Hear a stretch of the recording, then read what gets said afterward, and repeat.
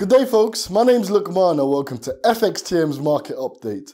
Financial markets have started the week on a solid footing, with stock markets marching into gains after Macron secured a position in the second round of the French presidential elections.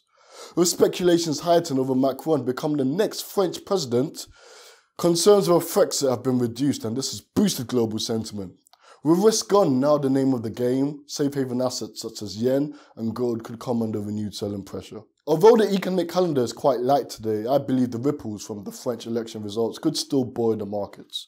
Much attention will be directed towards the Trump big announcement on Wednesday, the ECB meeting on Thursday, and of course the ongoing Brexit developments.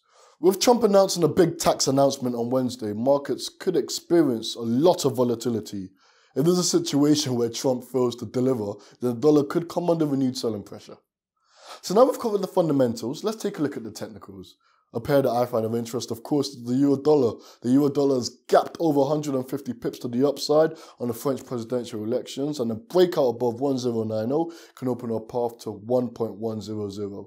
The pound US dollar continues to hover around the 128 level, but repeated weakness below 128 could open a path to 127 and potentially lower.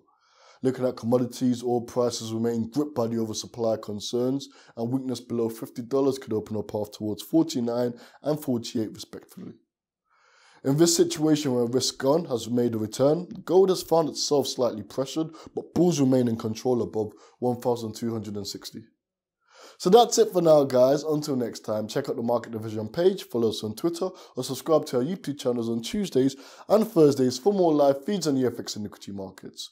Also, be free to download the FXTM application for more live market reports from our market analysts. Thank you.